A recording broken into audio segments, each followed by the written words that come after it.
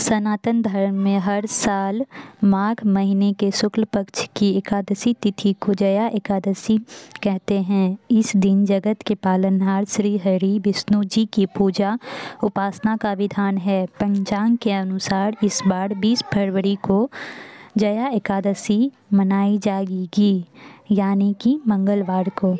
धार्मिक मान्यता है कि जया एकादशी के दिन विष्णु जी की विधिवत पूजा करने और व्रत रखने से पुण्य फलों की प्राप्ति होती है और जीवन के सभी कष्टों से छुटकारा मिलता है।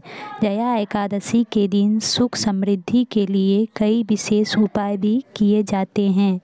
आइए जानते हैं जया एकादशी की सही डेट शुभ मुहूर्त पूजा विधि, मंत्र, पूजा सामग्री और आरती।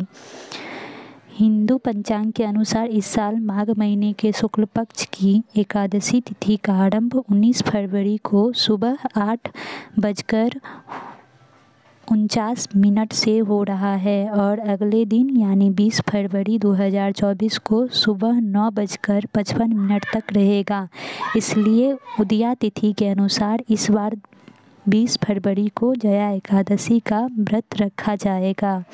अब जानते हैं पूजा मुहूर्त। इस दिन सुबह नौ बजकर पैंतालीस मिनट से लेकर दोपहर दो बजे तक पूजा का शुभ मुहूर्त बन रहा है। पारण का समय जया एकादशी के पारण का शुभ मुहूर्त 21 फरवरी 2024 को सुबह छः बजकर पचपन मिनट से सुबह नौ बजकर ग्यारह मिनट तक रहेगा। पूजा सामग्री लिस्ट जानते हैं। जया एकादशी की पूजा के लिए विष्णु जी की प्रतिमा, फल, फूल, सुपारी, लौंग, पंचामृत तुलसी, दल, चंदन, मिठाई, अक्षत, दीपक, धूप समेत सभी पूजन सामग्री एकत्रित कर लें। अब एकादशी के दिन सुबह जल्दी उठें, घर के मंदिर की साफ़ सफ़ाई करें, विष्णु जी का स्मरण करते हुए व्रत का संकल्प लें।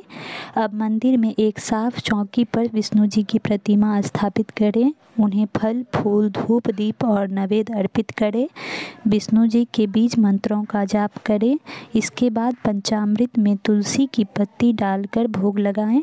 अंत में सभी देवी देवताओं के साथ विष्णु जी की आरती उतारें। दिन भर फलाहार व्रत रखें। अगले दिन पारण के शुभ मुहूर्त में भोजन ग्रहण करें। इस एकादशी का मंत्र है, ओम हुम विष्णवे नमः और ओम नारायणाय नमः। मंत्र का जाप कर सकते हैं। इसके अलावा इस दिन विष्णु सहस्त्र नाम का पाठ कर सकते हैं। और इसकी आरती है। ओम जय जगदीश हरे। स्वामी जय जगदीश हरे। भक्तजनों के संकट क्षण में दूर करे। ये आरती सुन लें और हम कल कथा बताएँगे, यानी कि फेस बीस फरवरी को कथा हम देंगे। अगर आपको सुनना हो तो उस पर आप सुन सकते हैं मेरे यूट्यूब चैनल पे। वीडियो पे बने रहने के लिए धन्यवाद।